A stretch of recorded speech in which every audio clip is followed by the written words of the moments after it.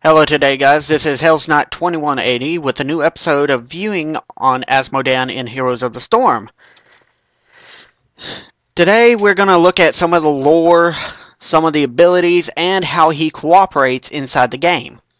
So far he's a tanky, real good siege hero as everything goes, but his abilities is Globe of Annihilation, Summon Demon Warrior, All Shall Burn, and as his trait, it's General of Hell, which ain't too bad of abilities, but could be better, honestly. His Globe of Annihilation basically is a big dunk. Anybody within that area just basically does not do well. You can send out two of your Demon Warriors. Your D, I'll show you this one real quick, is the General of Hell. He basically buffs all the minions mercenaries, and regular minions that come out your core during the game. Very, very powerful. His E is basically a channeling. It channels for exactly uh,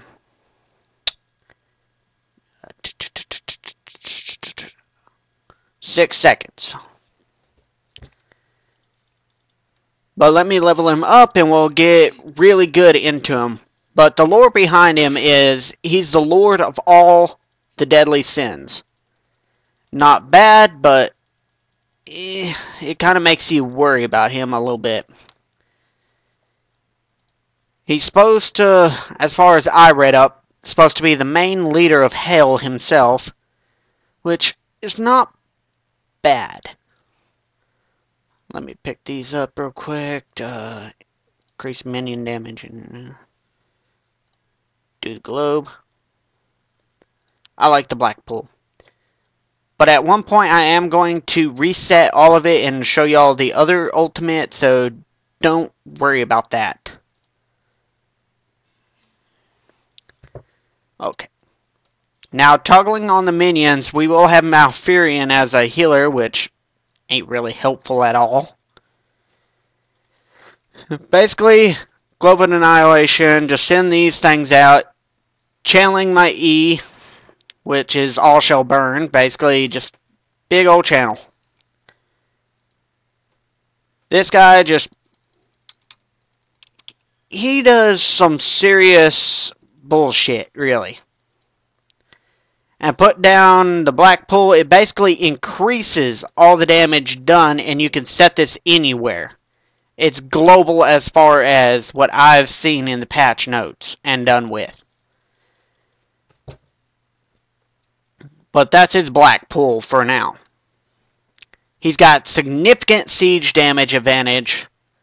He's really great at high levels, severely tanky once you re reach uh, level 20. 6,000 health, 690 mana. Not bad, very, very tanky, not very much team dependent. You could send his ass straight into a 1v5 and he'd almost survive every time.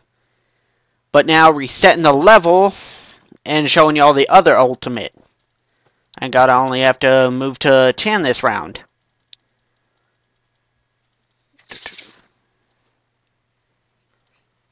So here's Demonic Invasion. Demonic Invasion, you spawn basically how you seen on the main Heroes of the Storm official website. All fireballs rain from the sky, summons all these minions. And if you and on these unfortunately you cannot put a general of hell out. Nor do I think it buffs them even if you did. No it does not. So basically he's not team dependent. He's very good at siege damage. Not so good at hero damage if done wrongly. Uh, I do not recommend this character for new players at all. More intermediate players that at least know basics, which there ain't many of those at first. Basically, he's all good. But his one mount, more say, he just has flaming feet. That's it. That's his mount, and uh, he don't really do anything else. He ain't one of my favorite characters. He's not one of my least favorite. My least favorite, which will be in a later video, is Chen Stormstout. I just severely dislike him altogether. But Azmodan, if I was to rank him on my characters, on my favorite, he'd probably be number 15 on the list. But that's all for today, and that's Azmodan. Make him do a little slash dance for you, which he don't do shit. See if he does it right here. Yeah. There's your slash dance. And it's Hell's Night 21 signing out. Please like, subscribe, and have a nice day.